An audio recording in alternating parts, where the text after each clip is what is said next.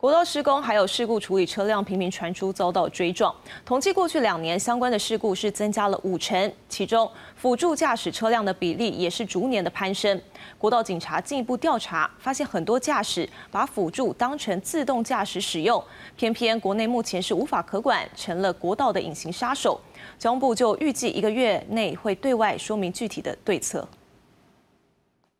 从监视器画面可以清楚看到，白色小轿车在车阵中一路逆向驾驶，还沿途擦撞三台车辆。不少用路人见状赶紧往旁边闪开，因为实在有够危险。事情发生在上周六十五号的晚间八点多，一名七十一岁的李姓男子疑似不熟路况，误从林口 A 交流道南向出口上匝道，一路逆向往北行驶约一点四公里，让其他用路人吓傻。现场车流量较大，无人受伤。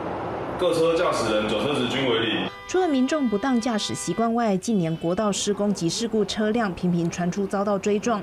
过去两年相关的事故就增加了五成，其中辅助驾驶车辆比率也逐年攀升。不少驾驶甚至把辅助当成自动驾驶使用，偏偏国内目前无法可管。比较相信自己，如果用的话只是打开，但是本身还是会。持续盯着路况，没那么智能，像没办法辨识什么三角锥或什么工作车也没办法辨识，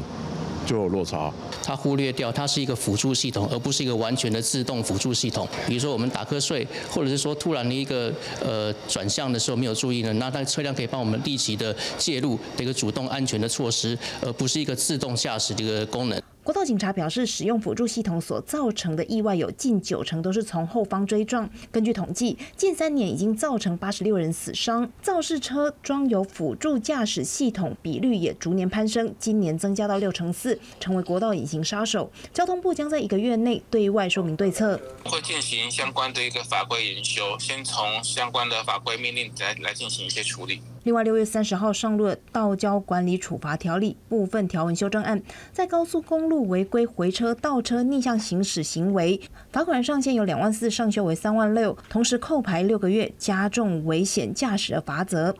记者为张国良特别报道。